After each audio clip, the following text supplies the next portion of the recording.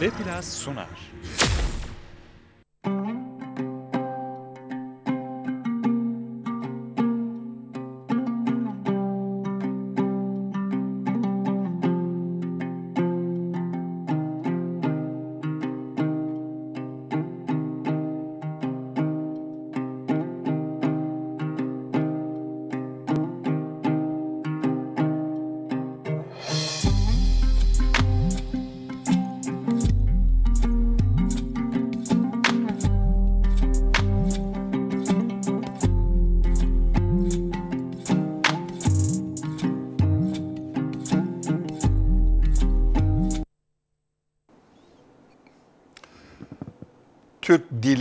Tarihi konulu programımıza bu hafta hoş geldiniz. Ee, Bugün işleyeceğimiz konu gene Türk dili ve tarihi bakımından oldukça önemli ee, ve Türkiye'de genellikle az bilinen bir konudur. Konu başlığımız kabaca İsveç, Norveç, Danimarka, Almanya ve Amerika'daki Futhart yazıtları konusunda olacak. Futart yazıtları e, şu İskandinav haritasında gördüğünüz her bir siyah noktada bulunmuş, günümüze kadar gelmiş taş yazıtlara verilen isimdir. Bunların sayılarının 3400 kadar olduğu İsveç, Norveç, Danimarka, Almanya gibi ülkelerdeki müzelerde teşhir edilenlerin sayısı 3400 kadardır. Ee, şimdi bu yazıtlara neden Futhart yazıtları dendiği konusundan başlayalım. 2004 yılında e, Kazım Mirşan ve ben e, Futhart yazıtları konusunda e, çalışma yapmak için bizzat yerinde görüp oradaki kütüphane, akademi, üniversite ve müzeleri gezebilmek için e, şu sarı noktalarda gördüğünüz İsveç'te Stockholm, Gotland ve Norveç'te de Oslo ve okyanus kıyısındaki Bergen şehirlerini ziyaret edip e, bu çalışmanın temellerini orada atılmış idi. Şimdi biraz önce söylediğim gibi e, bu Gotland, e, Futhart yazıtlarının e, ne olduğunu anlatabilmek için yaptığımız çalışmalarda önce Stockholm'e gittik. Stockholm'de bu gördüğünüz e, tarih müzesi. Tarih müzesinde başlayaraktan size e, İsveç'teki e, Futart yazıtları konusunda bilgi aktarmaya çalışacağım. Şimdi Futhart e, biraz sonra geleceğimiz e, ilk bulunan Futhart yazılı e, kayanın isminden adını alıyor. Bu şimdi görmekte olduğunuz taş yazıtlar e, Stockholm Müzesi'nde teşhir edilmektedir.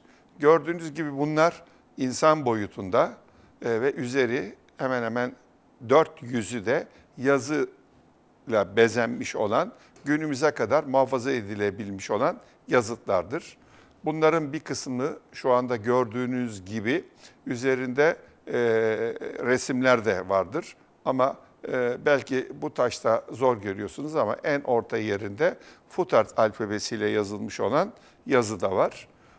Mesela bir başka örnek vereyim. Bu da gene o müzeden bir başka Futart taşı.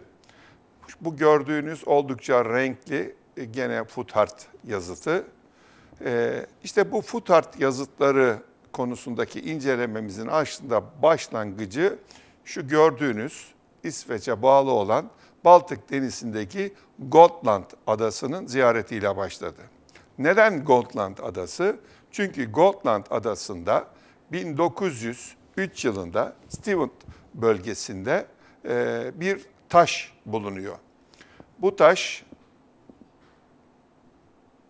şöyle tekrar şey diyeyim. Bu Gotland adasına giderken havaalanında e, teşhir edilmekte olan bir Furtart yazısı e, Kazım Hoca ile e, beraber resmi. Sene 2004, Kazım Mirşan 85 yaşında. İşte burada bu Gotland adasında 1903 yılında e, bugünkü e, konuşmamızın ana konusu olan Futart yazıtlarına adını veren meşhur Kilvert yazıtı bu. Bu e, Gotland adasında 1903 yılında bulunuyor. Tabi Batılılar bu taşlardaki yazıların kendi atalarının e, bıraktığı bir tarihi değer olduğuna inandıkları için başlangıçta 1903 yılında bu taşı normal olarak soldan sağa doğru okumaya çalışıyorlar. Siz de ekranda görüyorsunuz. En soldan itibaren okumaya çalışırsanız e, foot heart e, kelimesinin başlangıcını okuyabiliyorlar ama ondan sonrası gelmiyor. Fakat bu alfabeyle yazılmış. Biraz önce söylediğim gibi bugün sayıları 3400'ü bulan İsveç, Norveç, Danimarka, e, Almanya ve Amerika Birleşik Devletleri, Kuzey Amerika'daki daha doğrusu Go, e, Kanada ve Grönland'daki bu alfabeyle yazılmış olan bütün taşlara verdikleri isimler futart yazıtları.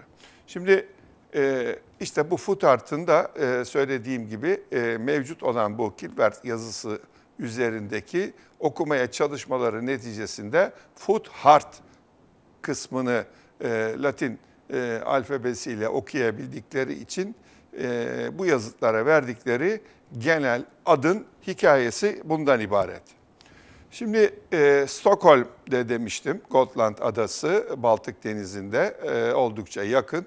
E, Stockholm'le Almata yani bizim e, Talas yazısı dediğimiz Kırgızistan'daki yazıtlarımızın arasındaki mesafe yaklaşık 5300 kilometre.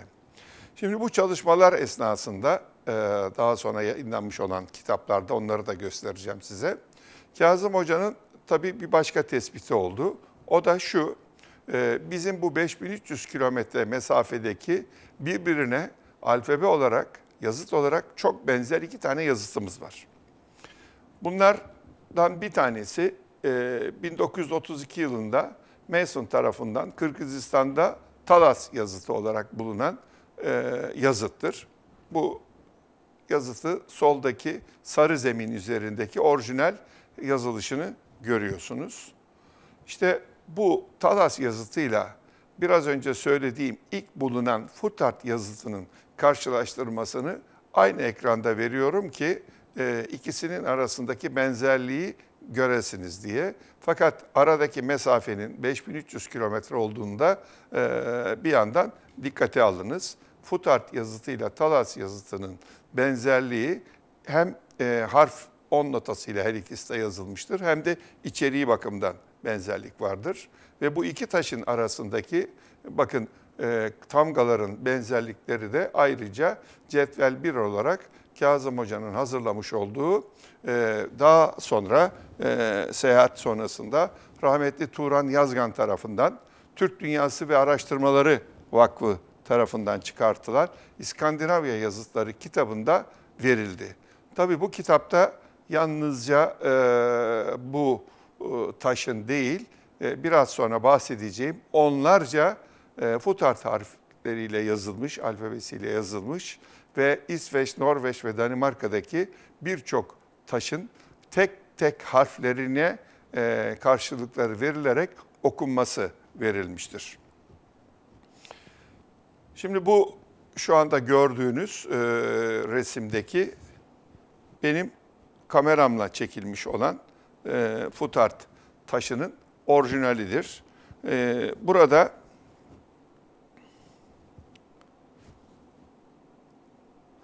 e, harfleri e, çok daha iyi çıkması için e, mümkün olduğu kadar yakından çekim yapıldı ve bu harflerin her birinin e, eksiği, fazlası var mı diye bizzat Kazım Hoca'nın parmaklarıyla e, yoklanarak tespit edildi ve neticede bu bizim tarihimiz içinde çok önemli olan yazıt Batılıların uğraştıkları sağdan sola değil tamamen soldan sağa doğru yazılmış olduğu ve biraz sonraki e, bakın burada belki daha net görüyorsunuz. Bu da gene bizim e, kameramızla e, çekilmiş olan fotoğraf kamerasıyla bir resim. Bu yazıt sağdan sola doğru olarak Kazım Hoca tarafından okundu ve biraz önce söylediğim İskandinav yazıtları konusunda Türk Dünyası Araştırmalar Vakfı'ndan 2004 yılında çıkan e, kapağını gördüğünüz kitapta verildi. Şimdi burada tabii yazının bir içeriğine bakmamız gerekiyor. Bu tamamen bizim Türk dünyasında e, sahneye çıkan Türk milletinin ilk felsefe inancını dünya, ahiret, ahiret, ölüm gibi düşüncelerinin özünü gösteren e, bir içerisinde içerik var. E, biliyorsunuz gök tanrı inancına sahip atalarımız yani canın e, insanın ölmesiyle vücuttan atılarak göğe çıktığı inancı hakim. Dolayısıyla e, bu taşta da aynı e, konu incelenmiş. Bakın en solda bu e, ekranda gördüğünüz Hilbert yazısındaki orijinal harflerin e, her birinin yanında satır satır her satırın e, alfabe bugünkü alfabemizde yazılışı ve onun e, bugünkü dile e, bir yerde tercümesi. Birinci satır biz transfer olmuş halkız. Yani yer değiştirmiş buraya gelmiş olan bir halkız diyor. Namdar lider yaptığı akın yani savaş sonucunda Allah'a doğru kozmik olarak akmış bulunuyor. Kozmik akmaktan kastettiği canın göğe çıkması, akması. Dediğim gibi bu Türklerdeki en temel e, e, inançlardan bir tanesi.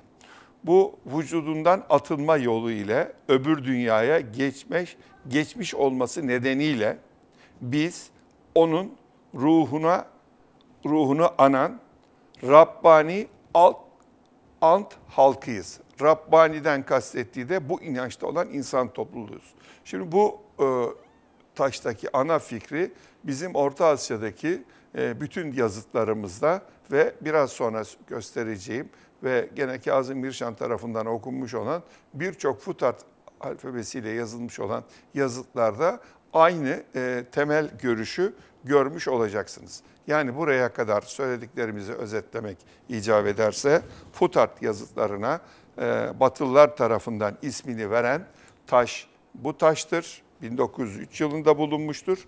Onun e, bulunma ve e, resimleriyle e, Kazım Mirşan tarafından bugünkü Türkçe'ye çevrilmiş halini şu ana kadar gördük. Bu ise e, gene biraz önce söylediğim o bölgeye, o ülkelere yaptığımız e, geziler Norveç ve İsveç'i kapsamaktaydı 2004 yılında. Bu Bergen'de bir güneş saati üzerindeki harfleri çok net olarak Futart harflerini e, görüyorsunuz. Bu gene sol tarafındaki borazanın e, ağız kısmına doğru olan yerde e, harfler çok net olarak görülmekte. Bir metal çok e, güzel işlenmiş bir obje. Bu ise e, kemiğinden yapılmış olan bir bıçak. Belki e, o zaman için hayvan derisi soymakta kullanılıyordu onu bilemiyorum. Ama elle tutma yerinde şu anda tabii çok iyi göremiyorsunuz ama orada uzunca bir e, yazıt var. Yani bugüne kadar gelebilenler metal eşyaların üzerindekiler, kemiktekiler ve taştakiler. Bu da boynuz üzerine yazılmış gene Furtat yazıtlı bir boynuz görüyorsunuz. Bu gene Futart alfabesiyle yazılmış olan e, ve oldukça enteresan, dört tarafı yazılı, oldukça e, önemli bir e, taş obje. Bakın e, daha başka, e, çok daha uzun, bunun boyu yaklaşık 4 metre. E, bu taşın da dört tarafında yazı var. E, mesela üzerindeki e, yazıları e, şu anda çok net göremiyorsunuz ama böylesi 3400 tane taş yazıtımız İsveç'te, Norveç'te, e, Danimarka'da, Almanya'da çeşitli müzelerde sergilenmekte. E, bir başka örnek daha vereyim size.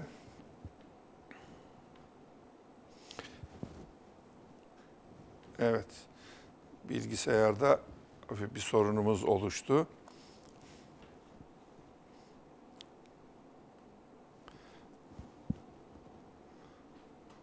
Evet.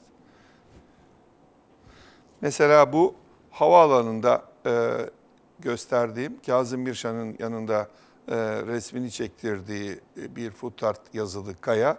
Yani bunlar öyle küçük e, taşlar değil, oldukça büyük, heybetli e, ve dediğim gibi mesela bu havaalanında, Stockholm Havaalanı'nda teşhir ediliyor. E, şimdi şu gördüğünüz ise e, Oslo, Norveç'in baş şehri, Uppsala Üniversitesi var biliyorsunuz. Uppsala Üniversitesi hem bizim için hem de Avrupa için çok önemli bir üniversitedir.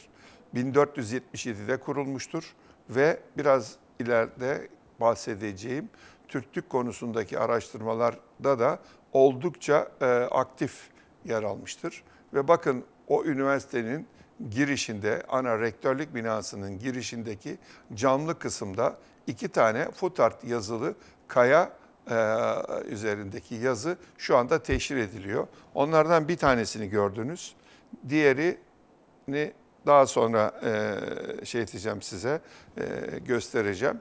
E, gene sırayla gitmemiz icap ederse gene önemli bir yazıt, taş ve biraz önce söylediğim İskandinav Yazıtları kitabında Kazım Mirşan yayınlanmış olan 2004'te mesela bu kayanın üzerindeki yazıtların da okunmasını sağda gördüğünüz gibi tek tek her harfin karşılığını vererek e, açıklamıştır. Bir tane daha önemli e, bir kaya üzerindeki futart yazıtı onu da e, okunuşunu görüyorsunuz. Ben bunlar çok vakit alacağı ve e, ekran başındakilerin hepsinin aynı derecede ilgilenmeyeceğini düşündüğümüz için e, bunların tek tek okunuşlarını vermekle zaman kaybetmek istemiyorum. Ama ana fikir şudur, Türklerdeki e, ölümden sonraki hayat inancı gök tanrı inancıdır. Öldükten sonra canın e, vücuttan atılarak göğe e, çıkacağı düşüncesi hakimdir ve e, bu e, görüşte ki e, çeşitli e, yerlerde yazılmış olan taş yazıtları size göstermiş oluyorum. Bu da gene önemli bir e, futart yazıtı. Oldukça uzun bir metin var. Mesela bu şu anda açık havada muhafaza edilen gene oldukça büyük bir e, taş futart yazıtı. Bu da hakeza aynı. Bakın üzerindeki satır sayısı bir yüzde dahi zannediyorum 10-12 bütün taşın çevresi böyle olduğunu düşünürseniz çok oldukça uzun metinler ihtiva etmektedir. E, bu bayanların büyüklüğüyle taşların büyüklüğü görülsün diye koydum ki bunlar insan boyundan daha büyük kayalar üzerinde e, yazıtlar ve İskandinav ülkelerinin de şu ana kadar böyle daha önce de tek söylediğim gibi 3400 tane futart yazılı, alfabesiyle yazılı taşımız var. İşte bu da biraz önce söylediğim Uppsala Üniversitesi'nin girişinde teşhir edilen bir e, futart yazıtı. Bunlar da yerde e, çakılın üzerine e, konmuş şekilde gene Uppsala Üniversitesi'nin girişinde, rektörlük binasının girisin, girişindeki futart yazılı e, taşlarımız. Burada şu yakın çekimde üzerindeki ok tamgası daha iyi görülsün diye e, verdim. E, şimdi buraya kadar olan verdiklerimiz bizim Kazım Mirşan'la İsveç ve Norveç'te 2004'te yaptığımız futart yazıtları konusundaki inceleme, oradaki futart yazıtlarının Kazım Hoca'nın okuması, okuma alfabesi, e, bunların nasıl okunduğuna dair bir iki örnek verdim ama e, daha geniş bilgi edinmek için dediğim gibi Türk Dünyası Araştırmalar Vakfı'ndan çıkmış olan İskandinavya yazıtları 2004 e, resimde gördüğünüz kitapta hemen hemen 50'nin üzerinde futart taşının nasıl okunduğuna dair harflerin tek tek karşılıkları verilerekten bu çalışma yapılmıştır.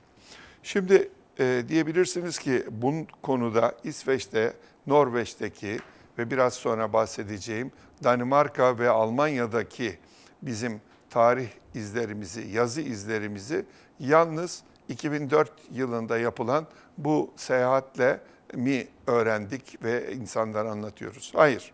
Bakın çok enteresan e, bu konuda gelişmeler var. Şu resimde gördüğünüz insan profesör, tarih profesörü Doktor Seven Levenvik. Bu 1707 yılında İsveç'te doğmuş, 1787 yılında ölmüş. 80 yılın 80 yaşında. Ee, Seven aslında Brink e, soyadı. 35 yaşında tarih profesörü oluyor. 41 yaşında da Lund Üniversitesi'ne rektör oluyor.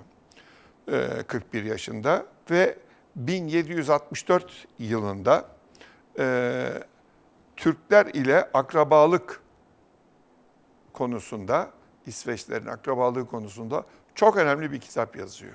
Tabii ki sene 1764 arkeolojinin şimdiki 2018 yılı seviyesine gelmediği bir zaman aralığından e, bahsediyoruz.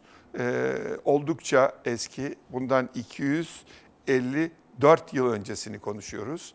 O günkü imkanlarla o Türklerle İsveçler arasındaki akrabalığı ve ilişkileri dil bilgisi çalışmalarına dayandırarak yapıyor ve biraz önce söylediğim e, kitabını yayınlıyor.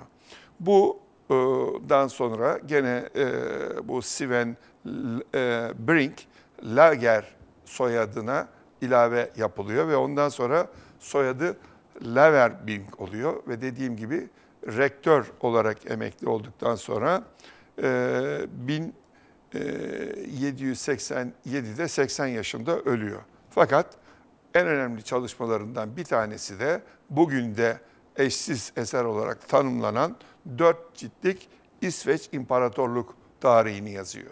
Yani karşımızda herhangi bir insan değil, İsveç e, bilim e, dünyasının en önemli tarihçisi bulunmakta ve e, bu insan bundan 254 sene önce İsveçlerin Türklerle akraba olduğunu, bunu biraz sonra göstereceğim e, dil çalışmalarına dayanaraktan söylüyor ve bu kitabını yayınlıyor. Bu konuda e, Abdullah e, Gürgün Bey'in İsveçlerin Türk kökenleri üzerine diye de yayınlanmış bir kitap var. Bu kitapta edinilerek e, benim söylediğim biraz önceki bahsettiğim konulara ait daha geniş bilgi buradan alınabilir.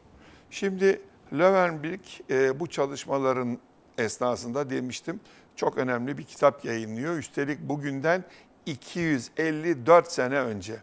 Tabii 254 sene önce dediğimiz zaman önce o zamanki bir de bizim Osmanlı'nın yapısına bakmamız gerekiyor. Biliyorsunuz o tarihlerde 3. Mustafa padişahtır. 1757'de tahta çıkar ve 1774'e kadar. Ee, bu tahttaki e, bulunduğu zaman aralığında e, İsveç'te Seven Lemmerbrink, Türklerin İsveçlerle akrabalığı konusunda çok önemli bir kitap yayınlıyor. Ama bizim Anadolu'daki Osmanlı'nın bu konularda hiç e, ilgisi ve haberi yok. Nasıl bu konulardan haberi ve ilgisi olacağı da biraz sonra çok enteresan e, bir hikayesi var. Onu da size anlatacağım. Ama önce Seven Levenbirk'in bu 254 sene önce yayınlamış olduğu kitaptaki e, temellendirdiği bilimsel kanıtlara biraz bakalım. Şimdi Türkçedeki ve İsveççedeki benzer kelime ve telaffuzları yakalamış. Ne zaman? Bundan 254 sene önce.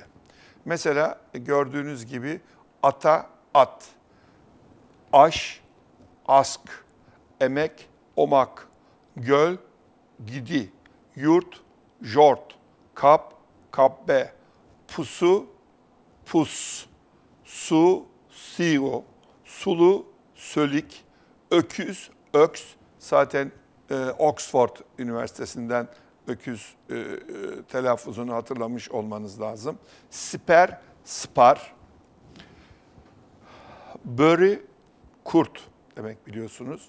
Wark, bağır yani göğüs, bok, bow, borçlu, borgen, burç, burk, göm, göm, hal, halsa, Hakan, hemen hemen aynı Hakan, Kaan, Kaunun, Heş, heş yani merhaba, hayda, heyda yani hoşta kal, güle güle manasında, kedi, ket gibi.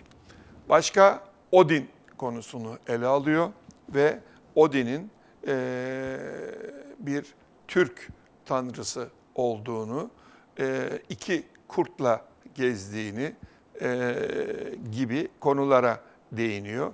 O günün Odin'in bir başka eee, resmini görüyorsunuz. Sağındaki solundakiler birer kurttur. Ve eee, kitabın en önemli paragrafı bence Profesör Doktor Seven Lovenberg kitabında diyor ki bizim atalarımız Oden'in yoldaşları Türklerdir. Bu konuda elimizde yeterli belge var. Onları Traklar ya da Getler olarak göstermek isteyenler var. Eleştirme gereği duymuyorum. Benim vardığım sonuçlar değişmiyor. Çünkü bunlar da aslında Türklerle bir serüveni olan halklardır yani Türk değil şudur dediğiniz halklar da aslında Türklerle ilişkisi olan aynı e, kökten gelen haklardır demiyor. Liderlerimiz rahatlıkla atalarımızı Türkler ve geçerler olarak gösteriyorlar. Şimdi bu cümleden sonra daha fazla bir şey söylemeye ihtiyaç yok e, sanırım. Ee, tabii bu konuyu bitirmeden önce e, 250 4 sene önce İsveç'te e, Türkiye, Türkler ve İsveçler konusunda bu önemli çalışmaya imza atmış. Bu değerli profesörün çalışmalarından biz nasıl haberdar olduk? Onu da bir iki dakika sizlere anlatmak istiyorum. 17 yaşında Gustav Nuring isimli Mölm e, şehrinde doğmuş İsveç'in bir İsveçli e, İstanbul'a da e, Türkiye'ye, Osmanlı'ya e, iltica ediyor. Türk vatandaşı oluyor, Osmanlı vatandaşı oluyor, Müslüman oluyor. Yıllar geçiyor. Dikkat ederseniz soyadı Nuring'ti. Nuring'in nurunu alıp Ali Nuri Dilmeç ismini alıyor. 1861 Mölme doğumlu. Bu Ali Nuri Dilmeç işte bu kitabı Türkiye'de ilk defa tercüme edip bu kitaptan bahseden insan. Fakat yıllarca gene bu, bu yani yazıldıktan 110-120 sene sonra e, İstanbul'da bu konuyu ortaya getirmesine rağmen zannederim o günkü e, Türkiye'nin şartlarından dolayı bu konu üzerinde gene durulmuyor, yeterince e, bahsedilmiyor ve biraz önce söylediğim gibi e, ve size e, gösterdiğim gibi e, İsveççenin Türkçe ile benzerliklerini Abdullah Gürgün Bey'in kitabıyla da biz e, haberdar olmuş oluyoruz. Şimdi e, bundan sonraki e, şeyleri, e, diğer e, Futart yazısındaki çalışmaları birazdan inceleyelim.